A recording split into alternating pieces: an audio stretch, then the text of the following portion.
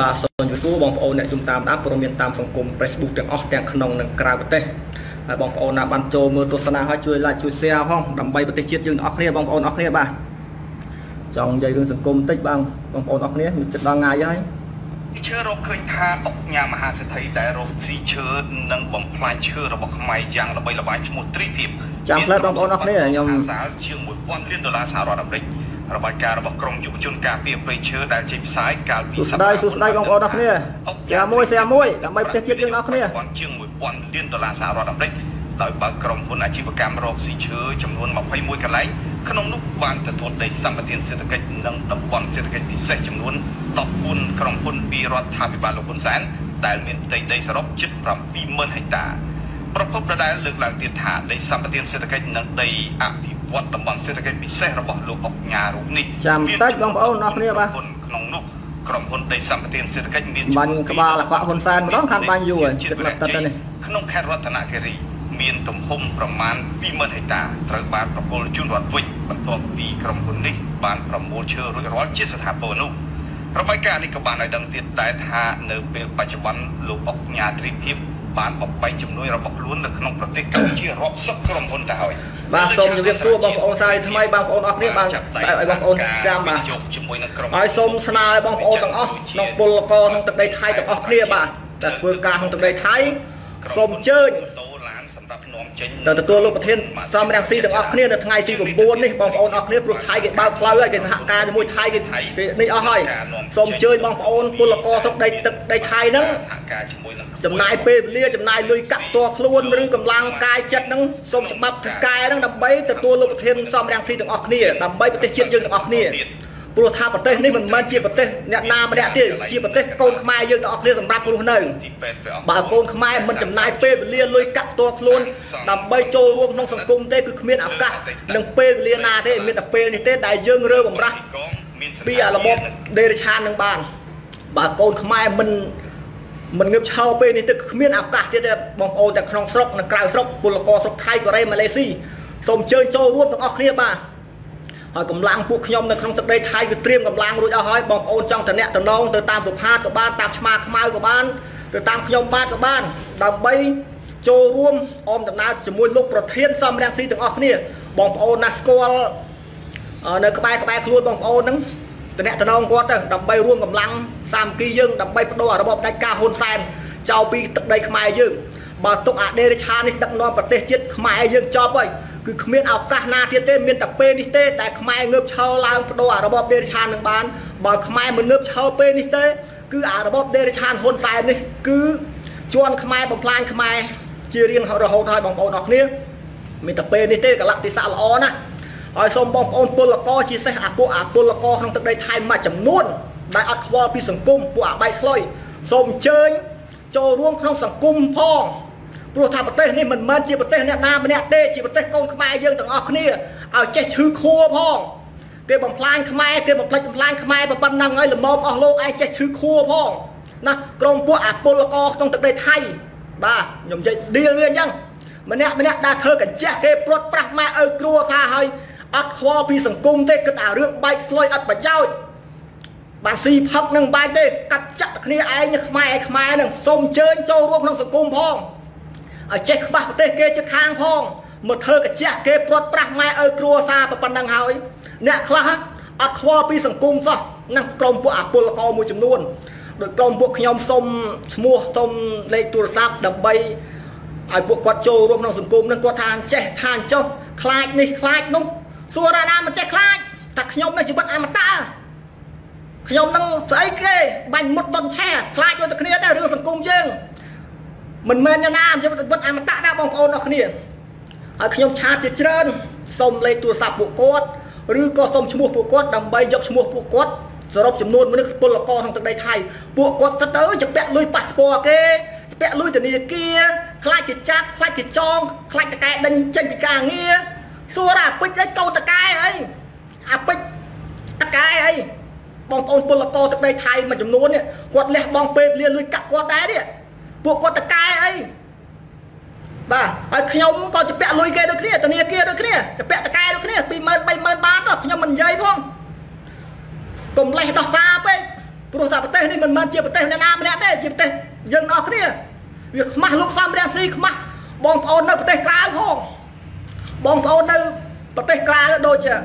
អានិកជននៅអាមេរិកកាណាដាសហរដ្ឋអាមេរិកអីគេប្រាក់ខែគេរាប់ពាន់ដុល្លារក្នុងម្នាក់ម្នាក់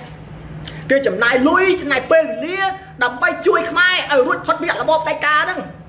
តែចំពោះពួកអាពលករទឹកដីថៃនេះអត់ខ្វល់ពីសង្គមខ្សោះប្រាក់ខែមួយថ្ងៃមួយថ្ងៃមួយថ្ងៃពី300បាតបងអាថ្លៃប៉ាសពតថ្លៃបន្ទប់មិនចង់គន់ផងនៅចង់រស់ក្រោមអារបបដេរឆានហ្នឹងទៀតណាខ្ញុំក្តៅក្រហាយបងប្អូនពួកអាពលករមួយចំនួនដែលមិនខ្វល់ពីសង្គមបើអ្នកឯងពេញចិត្តចង់ជេរមកជេរទៅខ្ញុំនិយាយជេរក្បាលអ្នកឯងចឹង ព្រោះអ្នកឯងមិនខ្វល់ពីសង្គមដើរធ្វើកាជះគេព្រាត់ប្រាស់ម៉ែឲ្យគ្រួសារប៉ុណ្ណឹងហើយមិនទាន់ដឹងខ្លួនទៀតប្រទេសខ្លួនឯងចេះរស់នៅទេមកធ្វើការស្រុកគេទេដោយសារអាមេនឹងនាំថោកទាបហ្នឹងហើយបានយើងមកធ្វើការព្រាត់ប្រាស់ម៉ែឲ្យគ្រួសារហើយក្នុងមួយឆ្នាំមួយឆ្នាំ គឺរលុយមកបងមកថ្លៃប៉ាសពតគេគ្រប់បែបយ៉ាងស្រួមស្រួលតកែគេជេរប្រមាថ កាត់ប្រាក់ខែយើងទៅធ្វើការមិនតនេះគេមិនបានយអត់មិនបានចំនួននេះគេគេស្ដីឲ្យតែពូជសាសយើងស្ដីឲ្យយើងគ្រប់បែបយ៉ាងប៉ុណ្ណឹងអត់តបជាក់ខ្លួនទៀតណាក្រុមពួកអពលករមួយចំនួនហើយក៏សូមទោសបងប្អូនពលករដែលរួបរวมសាមគ្គីដើម្បីជាតិខ្មែរខ្ញុំជេរចំពោះពួកអពលករមានពលករមួយធ្វើកាជះគេឲ្យមិនតបជាក់កណោតទេបាទតបជាក់កណោតទេនៅក្រោមរស់ក្រោមអារបបនឹងណាទៀតមកធ្វើកាជះគេប៉ុណ្ណឹងអត់តបជាក់ខ្លួនទៀតណា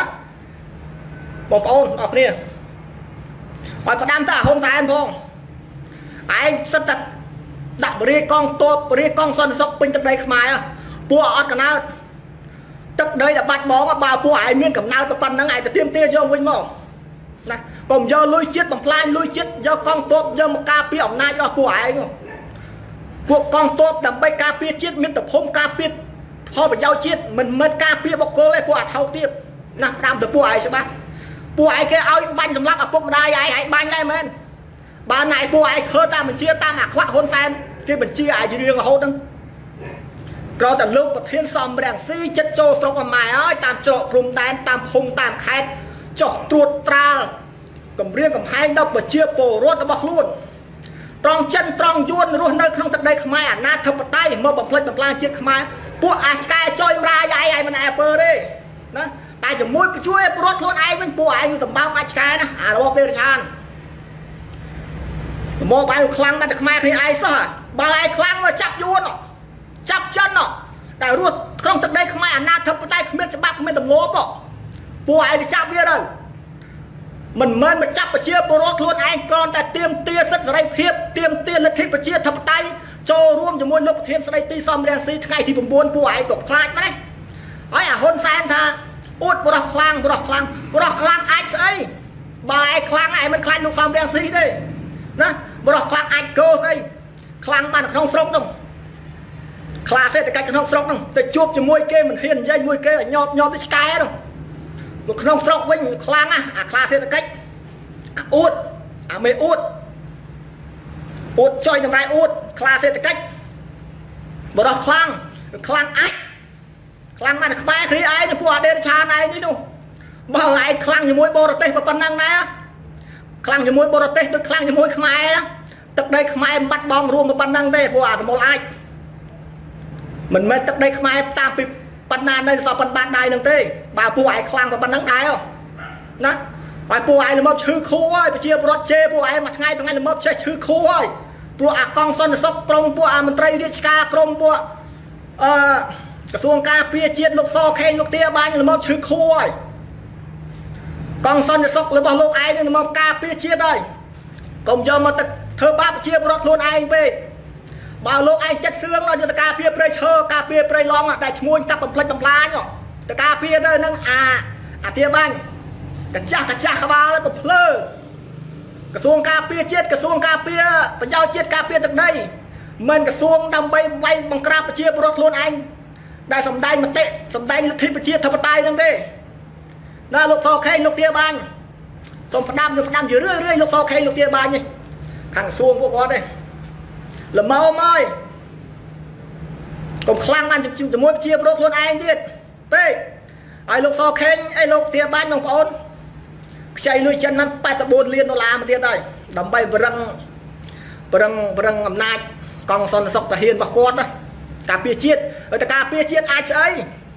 បើការពារជាតិអញ្ចឹងណាទៅមើលព្រំដែនផងទៅទៅខ្ញុំធ្លាប់និយាយអញ្ចឹងបើលោកឯងស្រឡាញ់ជាតិការពារជាតិមើលដឹកនាំកងទ័ពលោកឯងទៅមើលការពារព្រំដែនខាងកើតមើលតើបាត់បង់ឬចំណេញការបោះបង្គោលព្រំដែនសញ្ញេ84បង្គោលឲ្យទៅយួននេះតើចំណេញឬបាត់បង់បើលោកឯងការពារជាតិទៅមើលមើលកុំឲ្យប្រជាពលរដ្ឋវាឆ្ងល់លោកឯងដឹកនាំប្រទេសមេឃ ដែលអាខេតបោះបង្គោលព្រំដែនសពថ្ងៃនេះទៅសញ្ញេបំពេញបន្ថែមមួយថ្ងៃនោះនេះប្រហែលជា20ថ្ងៃ30ថ្ងៃមុននេះសូមអញ្ជើញទៅមើលមើលក្រសួងលោកឯងហ្នឹងការពារជាតិហ្នឹងដែលដល់ក្តោបក្តាប់កងទ័ពហ្នឹងទៅមើលមើលវាខ្លាំងបានជាមួយប្រជាពលរដ្ឋខ្លួនឯងសោះពួកអត់កណើតនេះពួកអស់នេះហើយលោកសខេងហ្នឹងក្រសួងហាផ្ទៃហ្នឹងចុះបង្ក្រាបបទល្មើសគ្រឿងញៀនជនអន្តោវេសក្នុងទឹកដីខ្មែរអាណាធិបតេយ្យចុះត្រួតពិនិត្យផង ជនជាតិយួនជនជាតិចិននេះមករស់នៅទឹកដីខ្មែរតែមានច្បាប់មានលិខិតឆ្លងដែនមករស់នៅទឹកដីខ្មែរអត់សូមអញ្ជើញមកធ្វើផ្ទះក្នុងបឹងទលេតាមតាមព្រែកតាមបឹងតាមបួតាមទីផ្សារមួយចំនួនអសូមអញ្ជើញអស់លោកឯងទៅមើលមើលអើទៅមើលមើលជនជាតិយួនជនជាតិចិនណាមានសិទ្ធិរស់នៅទឹកដីខ្មែរនេះតើមានលិខិតឆ្លងដែនបីអញ្ញាធ្វើការអត់ លោកឯងក៏ខ្លាំងបានខ្មែរគ្នាឯងសោះចាអីសត្វស្អីកងកម្លាំងរាជអាវុធហត្ថត្រៀមកម្លាំងដើម្បីបង្ក្រាបពួកទៀមក្រៅច្បាប់ចង់ផ្ដួលរំលំរាជរដ្ឋាភិបាលស្របច្បាប់រាជរដ្ឋាភិបាលស្របច្បាប់អាចតើមានប្រមាណប្រទេសដែលគ្រប់គ្រងអារាជរដ្ឋាភិបាលស្គោឈួតជ្រូកហ្នឹងមានប្រមាណប្រទេស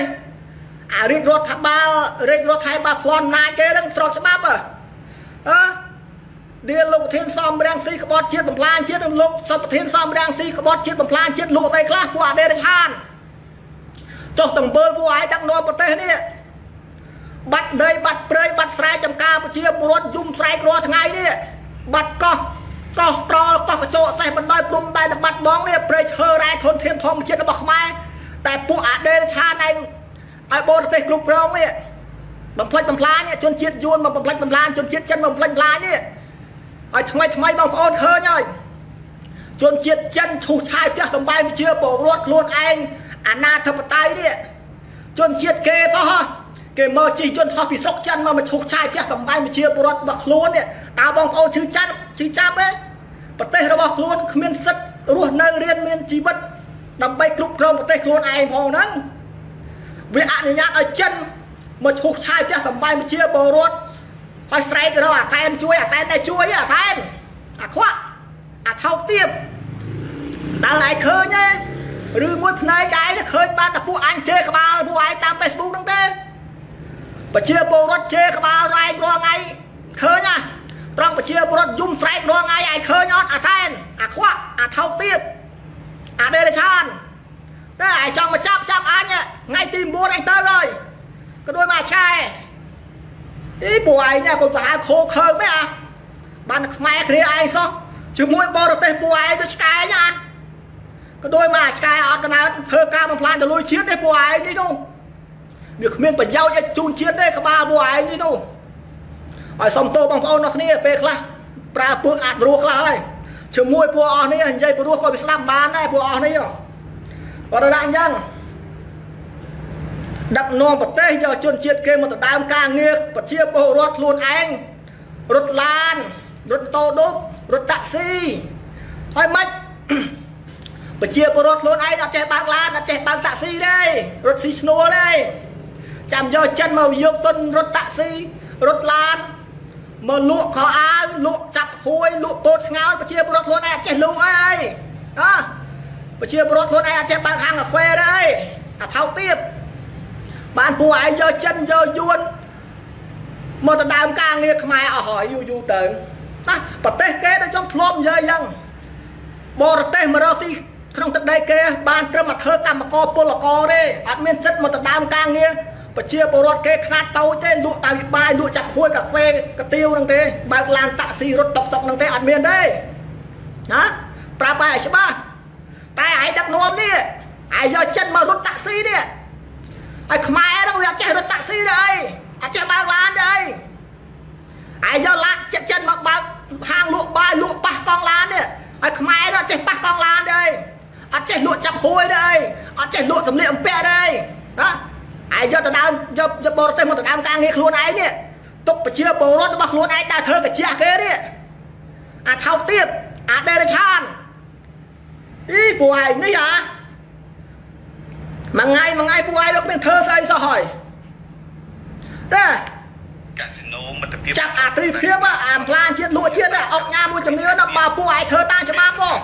កាស៊ីណូក្បែរអាត្រីភាពជាតិថ្មដានក្រុមពួកអុកញ៉ាមួយចំនួនពួកអាមន្ត្រីមួយចំនួននេះដែលរកស៊ីឈើអស់ហើយប្រេឈើក្នុងស្ដីខ្មែរបើពួកអត់កណៅដែលធ្វើតាមច្បាប់ចាប់ពួកអស់នឹងដាក់គុកមើលវាច្បាប់ប្រទេសណាប្រទេសគេណាដែលអភិវឌ្ឍប្រទេសដូចឯងនោះទេ ឯមើលប្រទេសគេចិត្តខាងផងអាថោកទៀតអាដេរឆានឯមើលផងណាឯមើលប្រទេសគេចិត្តខាងផងឯមើលយួនមើលសៀមតើគេដឹកនាំដោយឯងអត់គេយកទឹកដីយកព្រៃយកកោះយកប្រាសាទកោវត្តឬគេដូនតាយកទៅញ៉ែកុងត្រាដោយឯងអត់អាថោកទៀតអាទេរឆានអីឯងនេះអាគេខើធ្វើដោយឯងអត់ដឹកនាំដោយឯងអត់ឯងធ្លាប់ទៅដឹកនាំទៅប្រទេសគេដែរអីទៅប្រជុំប្រទេសគេឯងមើលអត់ ព័ត៌មាននៅដៃឯងឯងមើលឃើញអត់តែឃើញប្រទេសសៀមនេះគេយកគេដូនតាធនធានធម្មជាតិរបស់គេទៅសញ្ញាកុងត្រាឲ្យយួនឲ្យចិនគ្រប់គ្រងដោយឯងអត់អាដេរឆានហើយដែលឃើញបរទេសដូចយួនដូចចិនអីមករត់តាក់ស៊ីក្នុងប្រទេសគេអត់អត់មានទេបានត្រឹមធ្វើកាជះគេទេឯងគួរយកខួរក្បាលមកឯងមកមកដោះស្រាយបញ្ហាជាតិផងណា ប្រជាពលរដ្ឋយំស្រែករងងាយឯងគួរដោះស្រាយផងបើមិនចង់ឲ្យជេរគេជេរក្បាលឯងអាហ៊ុនសែនអាថោកទៀតណាឯងចង់ចាប់អីអញទៅហើយថ្ងៃទី9ខែវិច្ឆិកាហ្នឹងប្រហែលថ្ងៃទៀត10ថ្ងៃទៀតទេបងប្អូនទាំងអស់គ្នារួបរวมគ្នាសាមគ្គីឡើងដើម្បីបដូរអារបបដេរឆាននឹងឲ្យបានបើទុកអាចង្រៃដេរឆាននេះទៀតខ្មែរយើងរស់ក្លែងមានក្តីសុខហើយថ្ងៃហ្នឹង ពួកចិនពួកយួនវាយធ្វើបាបប្រជាពលរដ្ឋអ្នកផ្សេងឈូសឆាយប្រជាពលរដ្ឋយើងផ្ទះសម្បែងប្រជាពលរដ្ឋយើងតែថ្ងៃអនាគតថ្ងៃណាមួយពួកចិនពួកយួននឹងឈូសឆាយផ្ទះសម្បែងប្រជាពលរដ្ឋយើងនឹងវាយធ្វើបាបប្រជាពលរដ្ឋយើងហើយឈូសចំគ្រួសារយើងហើយបងប្អូនអរគ្នាបើមិនបដូរអាដេរឆាននេះចោលទេកុំសង្ឃឹមថាខ្មែររស់នៅបានក្តីសុខឲ្យសោះបើមិនដូរអាដេរឆាននេះនឹងទេនោះហើយនឹងអាលទ្ធិប្រជាធិបតេយ្យអំបែងក្បាលហើយហ្នឹងអាខ្វាក់ ណាក៏ប្រជាពលរដ្ឋសម្ដែងមតិ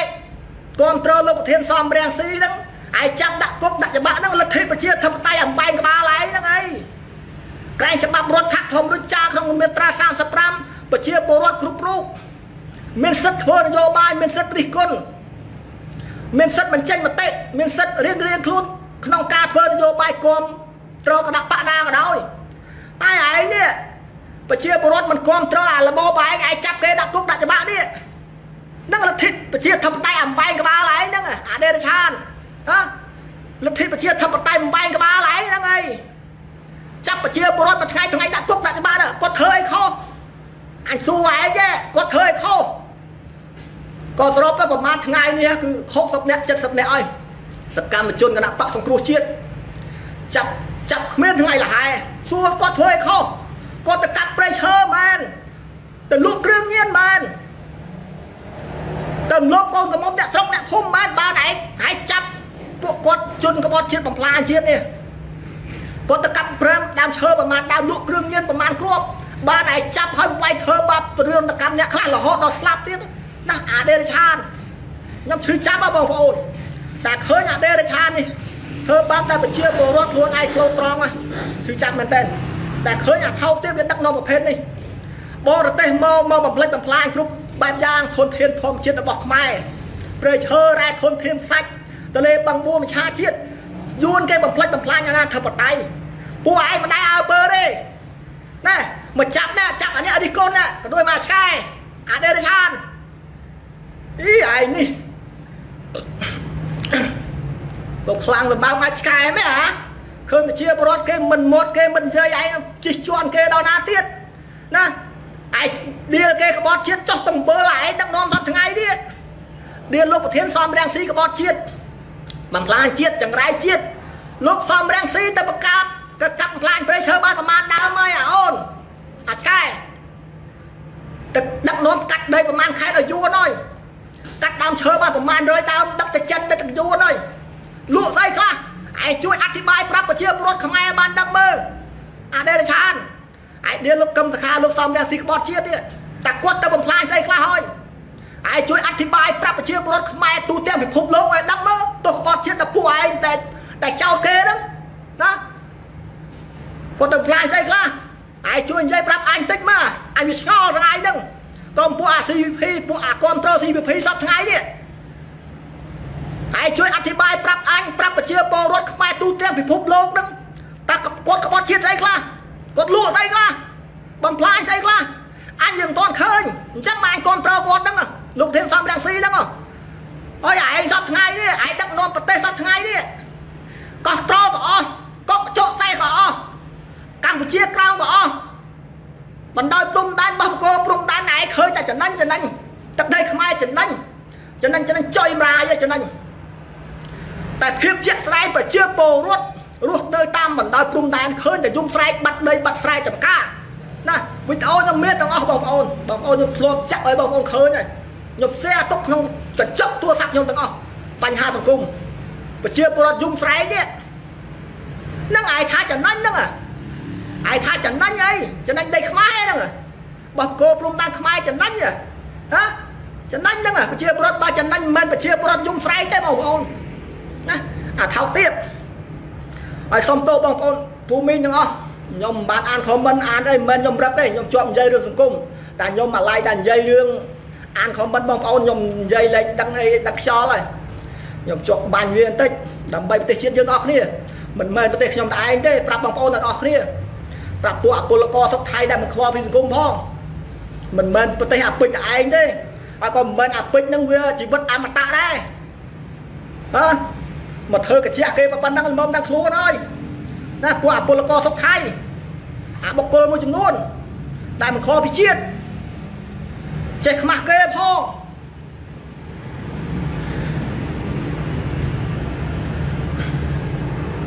ហើយបងប្អូនខ្ញុំខ្ញុំទាញសារលោកហ៊ុនសែនទៅមកកុំបារម្ភរឿងសម្រាមធានាធិបតីហុងគ្រី ថានឹងបញ្ជូនអ្នកជំនាញមកជួយដោះស្រាយបញ្ហាសម្រាមនៅកម្ពុជាឲ្យបានលឿនបំផុតសួរថាអត់កណើតឯងដឹកនាំនរណាទៀតតាសំបីតែបញ្ហាសម្រាមប៉ុណ្ណឹងឯងដោះស្រាយមិនចេញផងតើឯងដឹកនាំប្រទេសនឹងឲ្យប្រជាពលរដ្ឋរស់នៅថ្លៃថ្នូរបានអត់បងប្អូនខ្ញុំសួរទៅបងប្អូនទាំងអស់គ្នាសំបីតែបញ្ហាសម្រាមក្នុងទឹកដីខ្មែរប៉ុណ្ណឹងសិតតែសម្រាមវាដោះស្រាយមិនចេញប៉ុណ្ណឹង វាពឹងពាក់ឲ្យបរទេសមកជួយដោះស្រាយហ្នឹងតើវាដោះស្រាយបញ្ហាជាតិជូនប្រជាពលរដ្ឋខ្មែរយើងបានដែរអីបងប្អូនអរគ្នាខ្ញុំសួរទៅបងប្អូនអរគ្នាហើយសូមអានភាសាថ្មីទៀតកុំបារម្ភរឿងសម្រាមធានាធិបតីហុងគ្រីថានឹងបញ្ជូនអ្នកជំនាញជួយដោះស្រាយបញ្ហាសម្រាមនៅកម្ពុជាឲ្យបានលឿនបំផុតត្រាប់បានហើយបងប្អូនហើយក៏តែបញ្ហាសម្រាមប៉ុណ្ណឹងឯងដោះស្រាយមិនចេញផង ឯងទៅដឹកនាំប្រទេសឲ្យកើតណាឯងមើលគេអត់ឯងខ្មាស់គេអត់ខួរក្បាលឯងចេះខ្មាស់គេអត់ឯងជាមនុស្សដឹកនាំប្រទេសមួយដែរ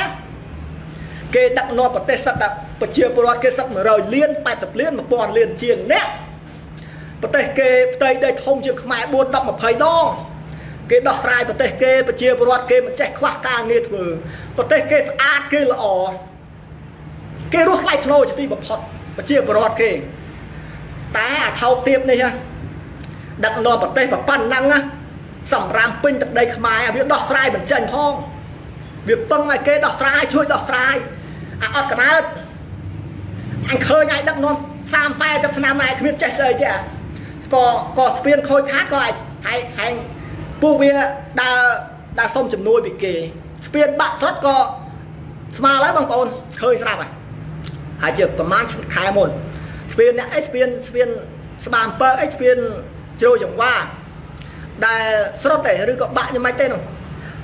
ឲ្យចនជប៉ុនមកជួសជុលរៀបជួយជួសជុលជួយធ្វើ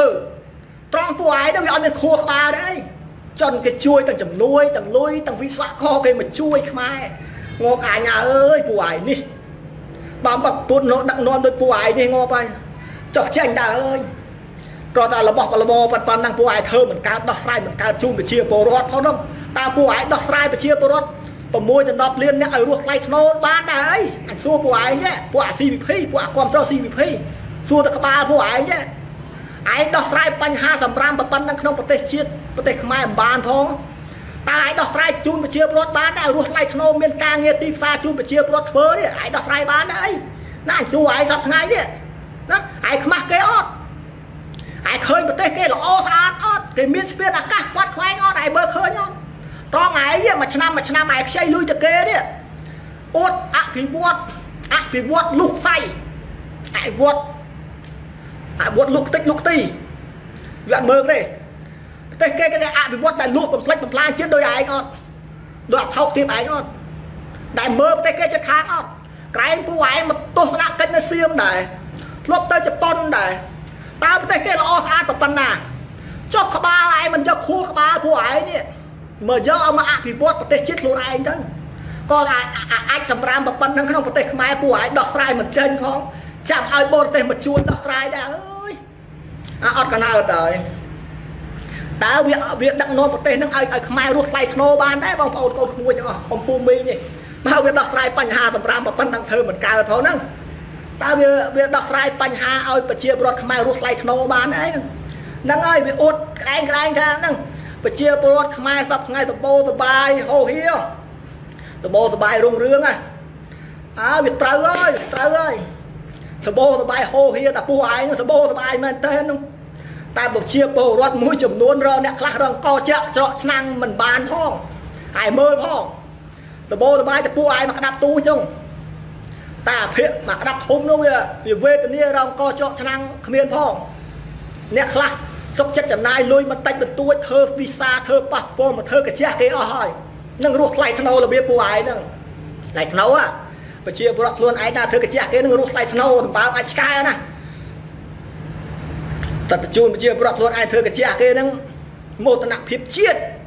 បញ្ជូនម៉ែឪឯងមកធ្វើកាជះគេអស់មកនៅក្រាញណាចដល់ណាទៀត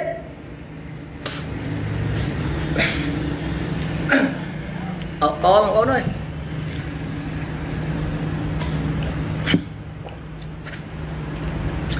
ហើយមកឃើញពលមានមួយទៀតលោកហ៊ុនសែន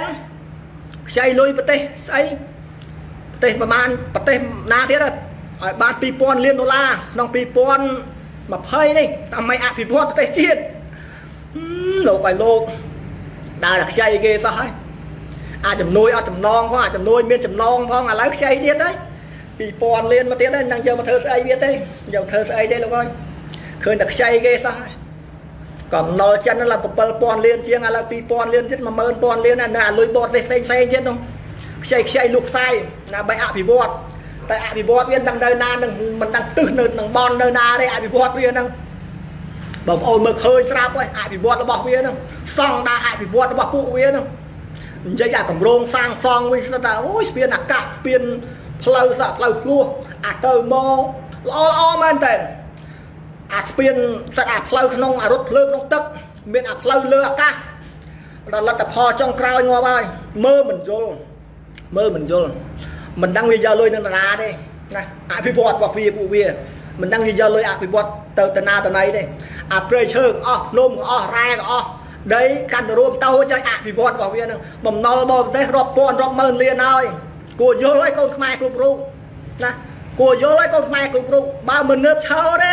កុំសង្ឃឹមតែបានសុខដូចខ្ញុំស្មនិយាយចឹងពួកអំណុលដោះចិនហ្នឹងណាវាធ្វើឲ្យចពាក់វ័នកដោះដោះដោះបំណុលចិនវាមិនរួចទេមើលទៅប្រទេសប្រទេសស្អីគេបងប្អូនអាការិដ្ឋានទៅដឹងហើយបំណុលចិនអស់តាំងពីកលៀនយន្តហោះ អស់តាំងពីកំពង់ផែបំណុលចិនចេះយកលុយចិនយកយកយកអាងយកស្រួលតែឥឡូវមានអត់លុយមានសងគេណាឥឡូវចិនគេរឹបអស់យកកប៉ាល់តារាងកប៉ាល់ហោះយកយកយកអឺថែកប៉ាល់ទៅបាត់ហ្នឹងហើយអភិវឌ្ឍបំណុលរបស់ចិនកុំសង្ឃឹមប្រទេសចិនណាវាឃើញខ្មែរមានប្រយោជន៍ឲ្យវាបានវាឲ្យរឿងលុយរឿងកាក់ណាលោកហ៊ុនសែន មិនមែនគេឲ្យចេះតែយកចេះយកទេលុយដល់កតុយលោកដល់ពេលលុយដល់កតុយលុយបំណុលចេះកើនកើនកើនកើនកើនអត់លុយសងទេមែនស្អីលក់អត់ហើយស្អីអានោះឃើញមួយហើយសិតតែចិនរស់នៅទាំងអស់នោះប្រជាពលរដ្ឋខ្លួនឯងរស់នៅភ័យខ្លាចជាទីបំផុតទឹកដីរបស់ខ្លួនស្រីអនុនៅតំបន់ខេត្តកោះកុងតំបន់ថ្មបាំងដី45000ហិកតាដែលកម្រងគេធ្វើពលានយន្តហោះធ្វើកង់ទ័ពនោះទៀត តមើលដែរបងប្អូនបើមិនឃើញចាំខ្ញុំដាក់ដៃតមើលតែខ្ញុំឃើញភាពជាក់ស្ដែងហ្មងតំបន់ដី45000ហិកតាតំបន់ថ្មបាំងនៅខេត្តកោះកុងដែលវាលក់ឲ្យចិនអានេះមិនមែនសញ្ញេកុងត្រាទេវាលក់ហើយវា99ឆ្នាំ70ឆ្នាំហើយវាលក់បំផ្លាញហើយវាមិនមែនទុកឲ្យកូនខ្មែររស់នៅមានក្តីសុខទេវាលក់កំតិចចោលហ្នឹង ហើយសុំទោសបងប្អូនអរគ្នាខ្ញុំបានអានខមមិនបានអីបានទីហ៊ានខ្លះហ៊ុនសែនដកកំភ្លើងចេញខ្លះហើយអូវាខ្លាចវាខ្លាចកងរាជអាវុធហត្ថនឹងអ្នកខ្លះបងប្អូនមួយចំនួនក៏មិនគ្រប់គ្រងរបបលោកហ៊ុនសែនដែរអ្នកស្នាជាតិមួយចំនួននោះអញ្ចឹងហើយវាទុកចិត្តមន្ត្រីរាជការអត់ទៅនឹងទេវាយកពួកអាបត្តិដៃទី3មកមកមកធ្វើបាបជាប្រវត្តិទៀតហើយពួកអស់នេះ យកបាត់ដៃទី3ឬក៏យួនដើម្បីបង្ក្រាបកម្លាំងអ្នកលទ្ធិប្រជាធិបតេយ្យអមដំណើរលោកប្រធានហើយបើសូមបងប្អូនសូមកុំខ្លាចរឿងនេះបញ្ហានេះខ្ញុំដឹងមិនបាច់ខ្លាចទេបើបាញ់ឲ្យបាញ់ខ្ញុំទៅវាយខ្ញុំចាប់ដាក់គុកទៅព្រោះតនកាលនេះហើយហ៊ុនសែនរស់អត់បានយូរទេបើហ៊ុនសែនធ្វើតាមអន្តរជាតិសំណុំពរគណៈបកសង្គ្រោះជាតិធ្វើតាមឲ្យមានការរៀបចំការបោះឆ្នោតឡើងវិញ ហ៊ុនសែនគឺរស់បានមួយរយៈពេលយូរបន្តិចមានពេលដកដង្ហើមយូរបន្តិចតើបើហ៊ុនសែនមិនធ្វើតាមគេទេវាយប្រជាពលរដ្ឋខ្លួនឯងឬបាញ់បង្ហូរឈាមខ្លួនប្រជាពលរដ្ឋខ្លួនឯងគឺហ៊ុនសែនអត់រួចខ្លួនទេព្រោះមានអង្គការសហជីវជាតិមាន ICC មានអ្នកកសែតគ្រប់បែបយ៉ាងណាប្រទេសមហាអំណាចគេគេជួយលោកប្រធានយើងអមដំណើរមួយគាត់មិនមែនគាត់មើលតឡងមូទេបងប្អូនអរគ្នា មិនមែនគាត់មើលមើលឲ្យហ៊ុនសែនចាប់ដាក់គុកដាក់ច្បាប់ធ្វើបោកជាពលរដ្ឋខ្លួនឯងទេបើហ៊ុនសែនផ្ទុះអាវុធដូចឆ្នាំ2007បោះឆ្នាំ2093គឺហ៊ុនសែនគឺកវួចកហើយជាប់គុកកាន់តែលឿនបើហ៊ុនសែនធ្វើតាមគណៈបកសង្គ្រោះជាតិធ្វើតាមពួក EU តាមសភាអឺរ៉ុបដាក់មកឲ្យនឹងហ៊ុនសែនរស់បានមួយរយៈពេលយូរដើម្បីលួចបន្លំចលឹកស្នោតដូចឆ្នាំ93ឯទៀត ព្រោះថាបោះឆ្នោតកន្លងទៅឃើញតែលួចបន្លំលួចបន្លំអញ្ចឹងហើយហ៊ុនសែនអាចលួចបន្លំអាចរស់បានមួយរយៈពេលយូរណាព្រោះល្បិចលួចហ្នឹងវាណាចេះដូចហ៊ុនសែនទេល្បិចលួចល្បិចប្លន់ដេរៀងល្បិចច្រើនណាល្បិចពុកអលួយល្បិចផ្លាញជាតិមានច្រើនគ្រប់បែបគ្រប់ភាពគ្មានណាល្បិចដូចហ៊ុនសែនទេអាល្បិចបំផ្លាញជាតិលក់ជាតិធ្វើឆ្កែបំរើបរទេសនឹងល្បិចល្បិចតាគ្មានអាណាប្រកែដូចហ៊ុនសែនទេបងប្អូនអរគ្នា ការល្បិចបំផ្លាញជាតិលក់ជាតិចាប់អ្នកស្នើផ្លោតត្រង់ដាក់គុកចោលថាក្បត់ជាតិនឹងល្បិចមានអាដូចហ៊ុនសែនទេហើយដូចខ្ញុំនិយាយដដែលដដែលអញ្ចឹងបើហ៊ុនសែនរៀបចំការបោះឆ្នោតឡើងវិញតាមអន្តរជាតិតាមគណៈបកសង្គ្រោះជាតិដាក់ឲ្យហ៊ុនសែនអាចរស់បានមួយរយៈពេលយូរដកដង្ហើមបានយូរបន្តិចតែបើហ៊ុនសែនអាថោកទៀតនឹងអាដេរឆាននឹងយកកង់សន្តិសុខពួកអាបាត់ដៃទី3ពួកយួន មកវាយធ្វើបាបប្រជាពលរដ្ឋខ្លួនឯងបង្ហូរឈាមជាមួយប្រជាពលរដ្ឋខ្លួនឯងដៃទៅទេអត់មានអាវុធសោះលោកឯងអត់ទោសលោកឯងណាមើល ICC គេកាត់ទោសលោកឯងមើលតែដាំទៅដាំហើយតែដាំលូសេនគេមានទាំងអាវុធទំនើបទំនើបជាមួយក្នុងដីរោក្នុងដីគេរកឃើញគេយកមកក៏ឃើញហើយត្រង់លោកឯងចេះស្អីចេះផលិតអាវុធស្អីខ្លះអាតដាមហ៊ូសែននោះនោះគេផលិតសិនអាវុធបល័យលោកធ្វើសង្គ្រាមបល័យលោកនៅគេចាប់បាន អស់កបានចុះតម្រាំលោកឯងនេះចេះតែកំ pl ាញជាតិលក់ជាតិកំ pl ាញព្រៃឈើដើម្បីទិញអាវុធមកទិញអាវុធទំនើបទំនើបដើម្បីបង្រឹងអំណាចបង្រឹងកងទ័ពបង្រឹងអំណាចរបស់លោកឯងហ្នឹងមកគេធ្វើមិនកើតអីលោកឯងសប្ថ្ងៃហ្នឹងប្រឹងចំណាយលុយជាតិរាប់លានដុល្លារទិញកាភ្លើងទិញស្អីអាវុធទំនើបទំនើបលោកឯងមិនបានទៅការពារជាតិការពារទឹកដីទេខ្ញុំហ៊ាននិយាយអញ្ចឹងបើលោកឯងចេះការពារជាតិការពារទឹកដីមិន មែនទឹកដីខ្មែររួមប្រព័ន្ធបាតដៃទេអាទឹកដីបាត់បងហើយលោកឯងមិនទៀមទាមកវិញទេណាបើលោកឯងចេះការពារជាតិទិញអាវុធមកការពារជាតិការពារទឹកដីមិនមែនទឹកដីដែលបាត់បងហើយអ្នកស្នេហាជាតិគេចង់ទៀមទាទឹកដីដែលបាត់បងមកវិញពួកឯងពួកលោកឯងតាមចាប់តាមចងគេដាក់គុកដាក់ច្បាប់ទេថាបើលោកឯងការពារជាតិស្រឡាញ់ជាតិស្រឡាញ់ទឹកដីលោកឯងលោកឯងគួរតែសហការជាមួយអ្នក លទ្ធិប្រជាធិបតេយ្យសហការជាមួយប្រជាពលរដ្ឋដែលស្រឡាញ់ជាតិស្រឡាញ់ទឹកដីនេះបើលោកឯងស្រឡាញ់ជាតិទៅស្រឡាញ់ទឹកដីទៀមទាទឹកដីដែលបាត់បង់មកវិញមិនមែនលោកឯងធ្វើការចាប់ថ្ងៃទិញអាវុធមកដើម្បីការពារចៅប្លន់ប្លន់ទឹកដីខ្លួនឯងទេណាពួកអដេរឆានពួកវាតបថ្ងៃនេះណាវាមិនមែនទិញអាវុធទំនើបទំនើបមកដើម្បីការពារទឹកដីខ្លួនឯងទេការពារអំណាចវា បាញ់សម្លាប់ប្រជាពលរដ្ឋខ្លួនឯងបាញ់សម្លាប់អ្នកស្នេហាជាតិបើវាចេះការពារទឹកការពារទឹកដីខ្លួនឯងហើយវាវាយកអាវុធទៅទៅមកហៀងខាងកើតទៅទៀមទាដីទឹកដីទាំងអស់នោះមកវិញមកបើលោកឯងស្នេហាជាតិទៅទៀមទាមកវិញមកដែលបាត់បង់ពីសម័យបារាំងកម្ពុជាក្រោមកោះត្រល់ដែលបារាំងសញ្ញេឲ្យយួនមិនមែនលោកឯងយកអាវុធមកគម្រាមកំហែងអ្នកចង់ទៀមទាទឹកដីមកវិញទេទៀមក្តាមជ្រុះនោះទេ ណានេះចំណុចនេះបញ្ហាចំណុចនេះបងប្អូនយកមកគិតហើយពិចារណាបើវាស្នេហាជាតិមែននោះគួរតែយកអាវុធនោះទៅការពារទឹកដីមកជាខាងកើតទៅទៀមទាយកវិញមកណាអាពេជ្រចូលធ្វើតាហ៊ានដែរនេះដើម្បីយកទឹកដីមកវិញតែអាថោកទាបាយអត់មានផងយកអាវុធមកទុកគម្រាមកំហែងជាប្រវត្តិខ្លួនឯងហ្នឹងអារូបប្រុសអាស្អីស្អីយកមកគម្រាមកំហែងជាប្រវត្តិហ្នឹងសម័យនេះគេលេងគេលេងឈួតតាមគម្រាមកំហែងលោកឯងហើយ គេលែងជឿការគម្រាមកំហែងរបស់លោកឯងហើយព្រោះគេឆ្អែតឆ្អន់រស់នៅក្រៅរបបលោកឯងណាសប្ថ្ងៃនេះគេចង់បដូរបដូរបដូរដូរដូររបបលោកឯងចោលវាដឹកនាំអត់កណើត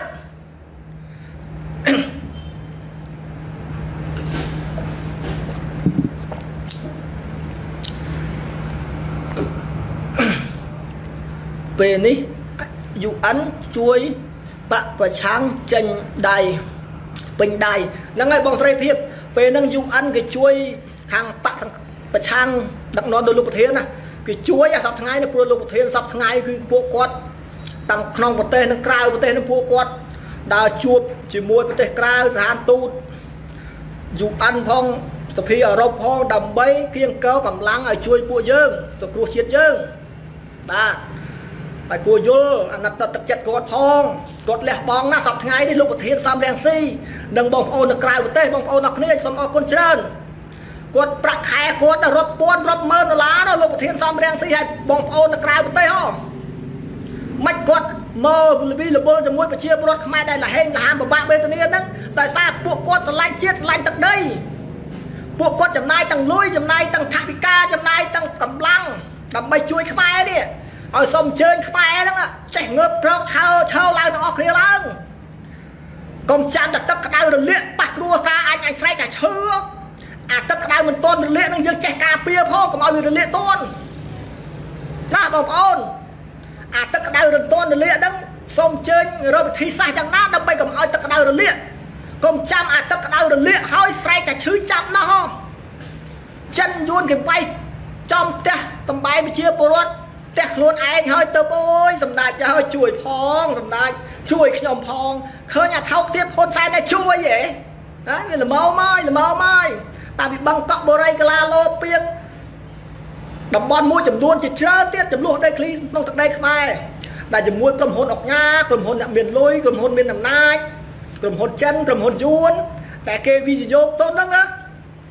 ឃើញឈូសឆាយផ្ទះតំបែងពួកគាត់ ពួកគាត់យំរកសម្ដេចជួយផងជួយផងតែអាថោកទៀតនឹងជួយអត់ណាក្រែងវាដឹកនាំប្រទេសនេះឃើញអាថោកទៅវាជួយអត់យើងមិនដែលឃើញទេណាមកឃើញអាពេជ្ជេក្រុមពួកពេជ្ជេរងថ្ងៃដល់ដាក់ឈ្មោះក្នុងក្រសួងហាផ្ទៃបានហើយចូលហើយវាមិនដែលឃើញទេនោះពួកអាអុកញ៉ាកំផ្លាញជាតិកំផ្លាញព្រៃឈើលក់របស់រដ្ឋនោះ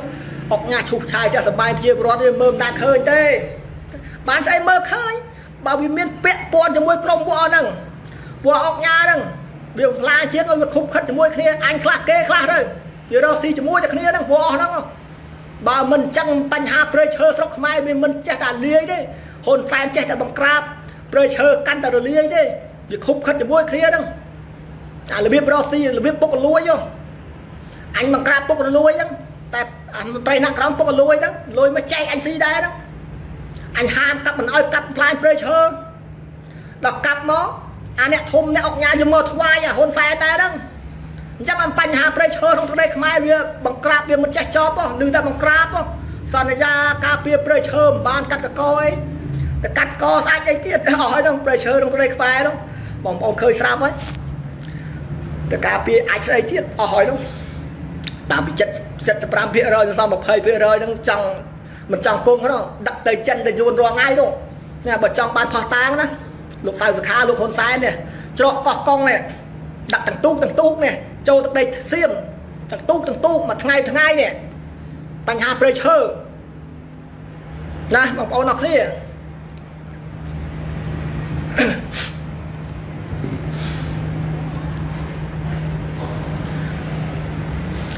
អូយូរដែរបងប្អូនអរគ្នាពេលវេលាយូរដែរបាទខ្ញុំ តំចេញធ្វើការអត់ទាន់ងូតទឹកទាន់អីផងតែឆ្លៀតពេលឡាយខ្លះដើម្បីប្រទេសជាតិយើងដាស់តឿនកូនខ្មែរកូនក្មួយទាំងអស់គ្នាឲ្យងើបក្រោកឆោឡើងទាំងអស់គ្នាកុំងើងើយកន្តើយដល់ណាទៀតអាណិតលោកប្រធានសំរាំងស៊ីផង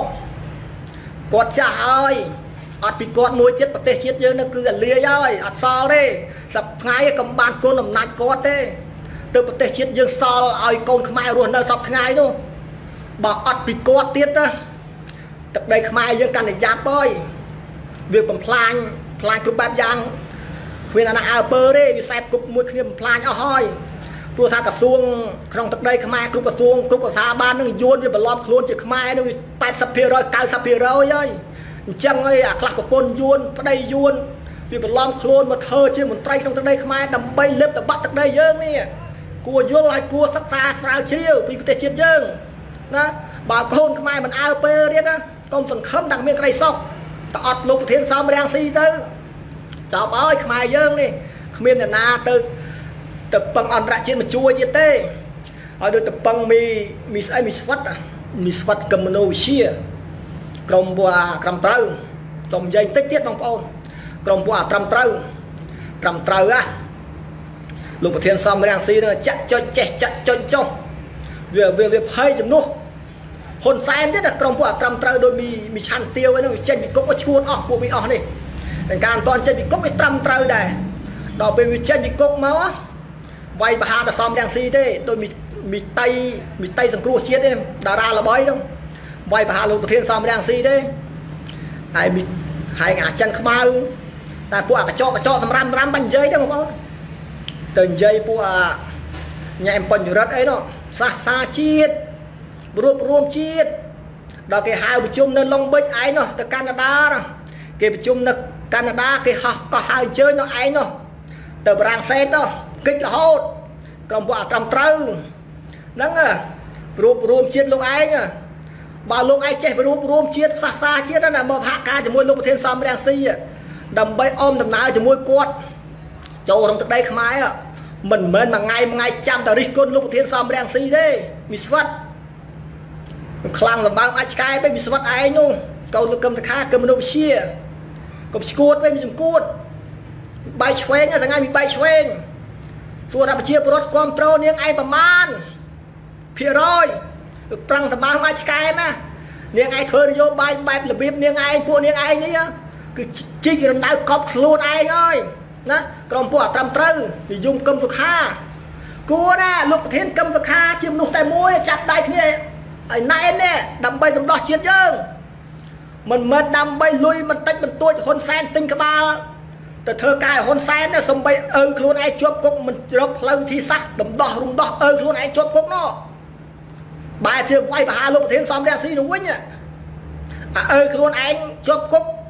អត់មានវិធីសាស្ត្រណាដើម្បីរំដោះឪខ្លួនឯងទេលោកប្រធានសំរងស៊ីគេរកផ្លូវរំដោះឃើញហើយអត់មកចូលរួមទេ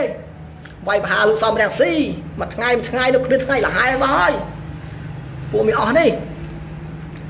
បើចង់ឲ្យ UN ហ្នឹងហើយបងប្អូនបើចង់ឲ្យ UN គេជួយប្រទេសគេជួយគ្រាន់តែខ្មែរយើងងើបឈរទាំងអស់គ្នាឡើងអានឹងគេជួយយើងបានហើយតែបើខ្មែរគ្នាឯងខ្មែរយើងមិនងើបឈរហ្នឹងគេចូលមកទឹកស្ងប់ស្ងាត់ដូចដូច ទឹកក្នុងពីងអញ្ចឹងគ្មានរើបំរាយផងឲ្យគេជួយយើងមិនបានឲ្យគេជួយយើងក៏តែខ្មែរយើងរួបរวมសាមគ្គី ជាកម្លាំង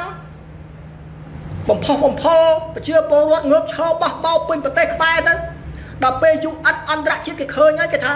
អឺប្រជាពលរដ្ឋខ្មែរយើងបះបោដោយប្រទេសមួយចំនួនលើពិភពលោកនោះប្រជាពលរដ្ឋខ្មែរបះបោងើបឆោហើយអានេះគឺជួយយើងហើយបើយើងមិនងើបឆោប្រងម្នាក់ម្នាក់ចង់តែដោ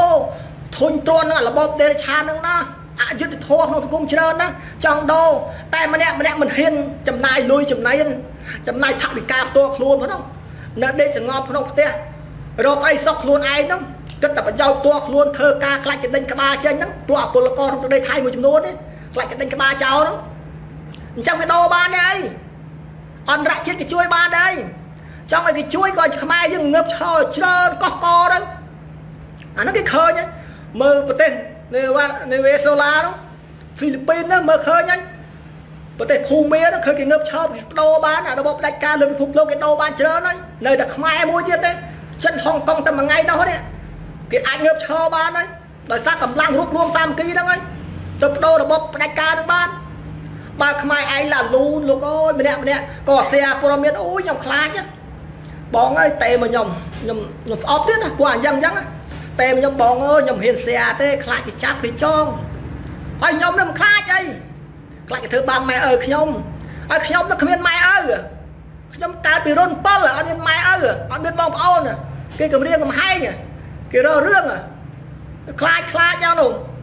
អាពេជ្រនឹងកើតពីរុន7ហើយហើយបងប្អូនអ្នកមួយចំនួននៅរិះគន់សង្គមហ្នឹងចេញពីរុងរុន7ហើយគាត់អត់ខ្លាចខ្លាចយកទៅគ្នាហ្នឹង តែអ្វីដែលធ្វើយើងធ្វើដើម្បីសង្គមឲ្យតែត្រូវយើងកុំខ្លាចសំបីតែសៀមិនហ៊ានសៀផងមកឆាតប្រាប់ខ្ញុំទៀតជាមួយខ្ញុំដាក់ឲ្យដល់ដល់ហ្នឹងបើខ្លាចតែមិនដឹងដែរងាប់ផុតផុតទៅពួកអាខ្លាចមួយចំនួនបុគ្គលមួយចំនួនកុំគិតអារឿងអត់ប្រយោជន៍បើអារឿងបាយស្លុយហ្នឹងស្វាស្វាដាច់មេដៃចោលអារឿងអត់ប្រយោជន៍បើរឿងពាក់ព័ន្ធនឹងសង្គមហ្នឹងមិនខ្វល់ហ្មងសុកចិត្តអស់ម្លងមក សួរថាប្រទេសណាប្រទេសខ្ញុំតែឯងអីហើយក៏សូមតបបងប្អូនអរគ្នាពេលខ្លះនិយាយទៅប៉ះពាល់ដល់អារម្មណ៍បងប្អូនទាំងអស់មួយចំនួនតែខ្ញុំនិយាយជាការពិតប្រទេសនេះមិនប្រទេសខ្ញុំតែឯងណាប្រទេសបងប្អូនអរគ្នាបើគិតតែប្រយោជន៍តួខ្លួនមិនខ្វល់ពីសង្គមផងអាត្មានិយមគិតតែប្រយោជន៍តួខ្លួនអញមានឡានជិះហើយអញមានទូរស័ព្ទទៅនៅប្រើហើយការងារអញមានហើយអញអត់ខ្វល់ តែអនាគតវាយ៉ាងណាបើអាត្មានិយមប្រភេទប្រភេទនេះអ្នកឯងមានលុយមានអីចាយដុល្លារនេះឯងមានហើយតែប្រជាពលរដ្ឋខ្លួនឯងអ្នកឯងនេះរស់អយុត្តិធម៌ក្នុងសង្គមយំស្រែករងថ្ងៃនេះអ្នកឯងមានភ្នែកចេះឈឺអត់ណាដែលប្រទេសគេដូចជាចិនដូចជាយួនគេមករស់នៅទឹកដីខ្មែរយើងដដើមការងារខ្មែរយើងខ្មែរយើងរស់ស៊ីមិនបាននេះដើរធ្វើកាជះគេនេះខ្មែរជាម្ចាស់ប្រទេសដើរធ្វើកាជះគេ ឯបរទេសមកម្ករស់ស៊ីក្នុងទឹកដីខ្មែរលក់ចាប់ហួចដដើមការងារខ្មែរធ្វើនេះគួរយល់គួរសិក្សាស្វែងយល់ផងកុំគិតអាត្មានិយមពេកអញមានដុល្លារអញមានឡានហើយខ្វល់ទេមានស្រាសັບហឹកហើយអត់ខ្វល់ទេណាគួរខ្វល់ពីបញ្ហាសង្គមផងបើប្រទេសនឹងប្រទេសនេះមួយខ្លាយជារបស់យួនហើយកុំសង្ឃឹមតែមានក្តីសុខមើលតួយ៉ាងទៅឃើញហើយកម្ពុជាក្រោម កម្ពុជាក្រោមមើលទៅតួយ៉ាងឃើញហើយសួរថាពួកគាត់ឈឺចាប់ប៉ុណ្ណាទេទឹកដីរបស់ខ្លួនរស់នៅក្នុងទឹកដីរបស់ខ្លួនសំបីលបាំបព្វធម៌ប្រពៃនេះគេមិនឲ្យគោរពផងគេគម្រាមកំហែងគ្រប់បែបយ៉ាងបានត្រឹមតែមករស់រស់រស់ចិញ្ចឹមជីវិតអឺអើអើតាមគេហ្នឹងរស់បានក្តីសុខហើយនៅកម្ពុជាក្រោមហ្នឹងមើលទៅតែពួកគាត់ឈឺចាប់ប៉ុណ្ណា ទឹកដីរបស់ខ្លួនគេយកឲ្យគេមិនឲ្យយើងបញ្ចេញសិទ្ធិសេរីភាពសំបីដែល រក្សាបព្វធម៌របស់ខ្លួនឯងត្រូវគេចាប់គេចងដាក់គុកដាក់ច្បាប់នោះប្រពៃនេះរបស់ខ្លួនឯងនេះហ្នឹងមើលទៅគឺចាប់ពួតប៉ុណ្ណាបងប្អូនកម្ពុជាក្រោមនោះឲ្យដូចប្រទេសចាមថ្មីថ្មីអីប្រហែលសតវត្សទៅប្រទេសចាមមើលដើរនៅប្រទេសគេនោះហ្នឹងដល់ថាបញ្ហាអាត្មានិយមមិនខ្វល់ពីសង្គមខ្លួនឯងប្រទេសជាតិខ្លួនឯងអាត្មានិយមទៅប្រទេសទឹកដីដែលបាត់បង់ ហើយសុំទោសបងប្អូនអ៊ីស្លាមខ្ញុំមិនទៅនិយាយមើងងាយប៉ះពាល់ដល់ពួកគាត់ទេតែនិយាយជាការពិតតែអាត្មានិយមចឹងមិនខ្វល់ពីសង្គមអញ្ចឹងគឺចប់ហើយដោយទឹកដីចាមដូចកម្ពុជាក្រោមអញ្ចឹងបើកូនខ្មែរមិនមិនមិនអើពើនោះពីបញ្ហាសង្គមខ្លួនឯងនោះកំចាំតែទឹកចូលច្រមុះហើយបានងើបក្រោកឈរក្រោកឈរមិនកើតសំបីតែថ្ងៃនេះ ងើបឈររើបំរាស់យ៉ាប់ជាទីបំផុតបើខ្មែរមិនរួបរวมសាមគ្គីពេលឥឡូវទេគឺគឺងើបឈរយ៉ាប់បន្តិចហើយតែឥឡូវនេះយើងមាន UN មានអង្គការសហជីវជាតិប្រទេសមហាអំណាចជាច្រើនប្រទេសជួយយើងយើងបាច់ភ័យទៀតទេណាខ្ញុំចូលរួមអញ្ចឹងនេះទោះបីខ្ញុំជេរវាពេញពេញមាត់ហ្នឹងចង់ចាប់ឲ្យចាំចាប់ខ្ញុំជេរអញ្ចឹងហើយខ្ញុំយកទ្រូងខ្ញុំទៅការពារលោកធានទៀតលោកធានចុះទៅហ្នឹងខ្ញុំសិតសិតងាប់ឲ្យគាត់រស់ចុះ ដើម្បីដោះស្រាយបញ្ហាជាតិតទៅទៀតបាទ